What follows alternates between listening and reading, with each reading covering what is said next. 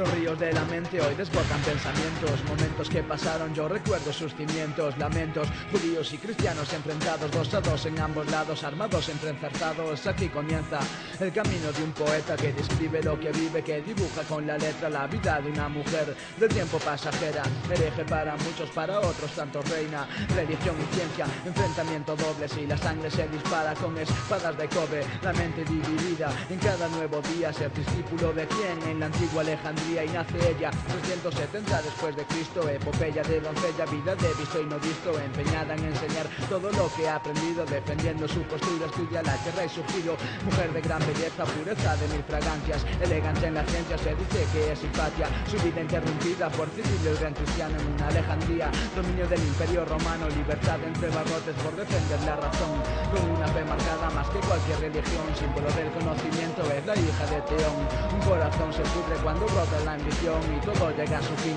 y tu fin ha llegado, y el prefecto este este pudo haber salvado. Tu cuerpo mutilado y descuartizado con conchas marinas y hasta tus restos quemaron, ya no se habla de ti. 60 años muertos, años de tu vida encerrados bajo el suelo. El cielo llora gotas, se evaporan con el aire siglo XXI. Y tu recuerdo aquí renace mientras todo pasa lento. Deja huella en esta historia, tu gloria se pierde si tu vida es la derrota. Brotan tus adentros la esperanza y no se pierde. El que quiere y sabe puede, puede vencer a la muerte. Como tú lo has hecho, porque aún te recordamos. Miramos el presente y olvidamos el pasado. Y aunque aún en nuestros días el machismo no ha acabado Soñamos con crecer, parecer seres humanos Solo muestro la realidad donde están los derechos de justicia e igualdad pocas no tan diferentes según como las mides y patria.